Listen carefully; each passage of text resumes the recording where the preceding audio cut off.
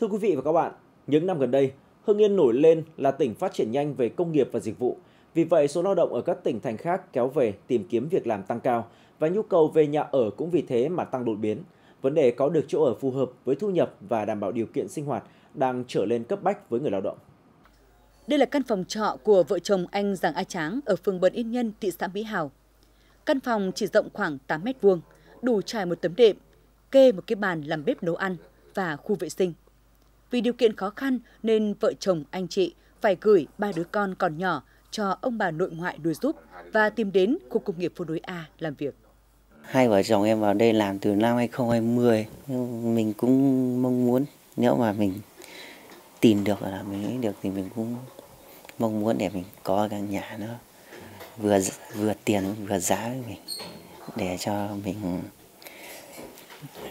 ổn định với là kiểu là tiền nong nó mình chi phí nó lại ít hơn. Tuy quê ở sông Mai huyện Kim Động, nhưng để thuận lợi cho công việc tại khu công nghiệp phố đối A, anh Đào Nguyễn Thắng cùng vợ và cậu con trai 19 tuổi phải thuê một phòng trọ chật trội để ăn ở. Anh cũng như nhiều người lao động khác rất mong được thuê hoặc mua nhà ở xã hội. Chồng chúng tôi lên đây làm công nhân thì cũng từ năm 2013 đến nay cũng được 10 năm rồi thì là lên đây là kinh tế của hai vợ chồng chúng tôi là cũng là khó khăn nên là thuê trọ cũng là chật trội. Ở của hai vợ chồng chúng tôi đến bây giờ cũng chỉ có 10 đến 12 mét vuông thôi. Nên chồng là con là chúng tôi là có ba người nên là ở rất chật trội nên là cũng mong là nhà nước và chính phủ là có một cái ờ, chương trình hay là có cái gì đó là xây dựng một cái khu tập thể hoặc là cái khu nhà chung cư ấy, tạo điều kiện cho người lao động để mua trả góp hoặc là thuê để tạo điều kiện cho người công nhân chúng tôi là ở cho rộng rãi và thoải mái để ờ, còn yên tâm là lao động sản xuất ạ.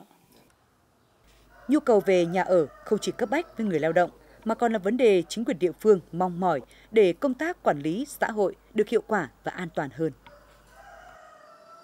khoảng hơn 5.000 uh, Ờ, dân số uh, cơ học đến địa bàn. Thì với cái dân số mà uh, đến sinh sống và làm việc ở trên địa bàn nó rất là đông ờ, như vậy với cả dân số cư trú tại địa phương thì nó cũng ảnh hưởng rất là lớn đến cái công tác ờ, quản lý của chính quyền. Đặc biệt là những cái vấn đề về an ninh trật tự về môi trường phường thì chúng tôi cũng nhận thấy rằng là cái việc mà các dự án đi vào hoạt động và có cái ờ, quy hoạch và thực hiện dự án thì rất là lâu rồi. Tuy nhiên thì cái việc mà quan tâm và tập trung cho cái việc mà xây dựng và đầu tư cái khu nhà ở xã hội cho uh, dân cư uh, cư trú ở trên địa bàn thì hiện nay là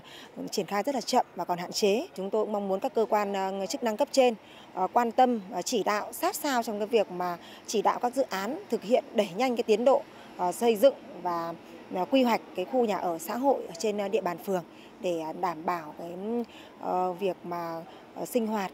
và đảm bảo cái nguyện vọng về nhu cầu nhà ở cho cư dân.